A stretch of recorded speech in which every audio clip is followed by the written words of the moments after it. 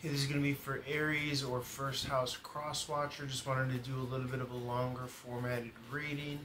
Let's see what comes out, Spirit. Let's see if I have enough space as well on the CPU and the phone. Two Cup in the reverse is falling out energy, happiness, Ten of Cup in the upright, juxtaposed happiness here. Could be going for your true happiness which is more of a solo endeavor, less of a kind of falsified, projected happiness of the Ten of Cup in the upright. This really involves an alchemical personal process here, giving first person narrative vibes, giving, you know, actor on the stage vibes. Star card in the upright, wish fulfillment, going for your true kind of version of happiness a deep depth. Doesn't it's very personal. It doesn't really involve others in, in such a way. It, it involves others, but maybe as others as the side characters, whereas now or before it would have been you as a side character.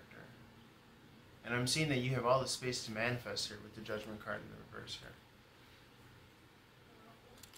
This is something that you're contemplating and ruminating, but you feel very clear and direct about how you stand in regards to this matter. So this is something that you feel that you could walk away for, for now because you can you've categorized it already in your mind, right? You've already um, you know quantified it and put it in the proper bin or module in your in your mindset.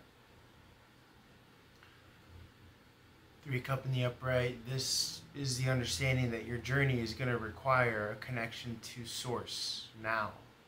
It can't be sustained alone by just pure desire and want in the far off and away of the accomplishments of your goals in the distance. You have to go based on internal candlelight. There's a certain amount of warmth. Mystique is what this requires. Legend. I'm getting legend as well.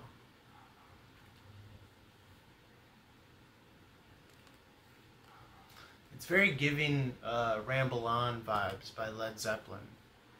You know, I gotta find my girl. I gotta find my empress here. The chariot headed to the empress. I gotta, I gotta travel the way, right? Some like, I don't know if it's like Persephone or like the underworld,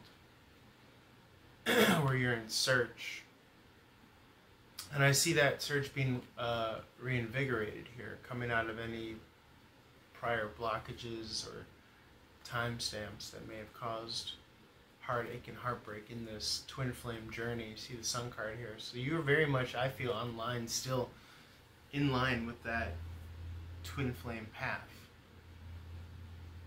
Is how it comes across. And it could just be like the very nature of your quality or your standard.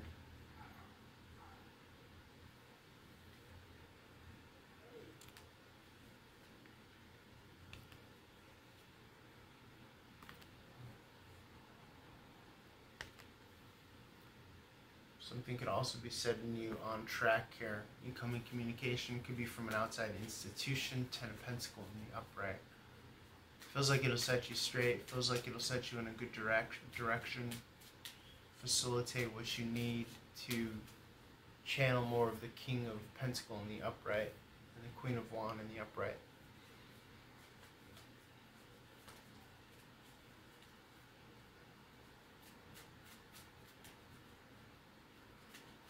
It's almost as if you have these quality character types, but it's like you need the right set and setting. You need the right stage so you could perform those roles of the Queen of Wands in the reverse, King of Pentacles in the reverse.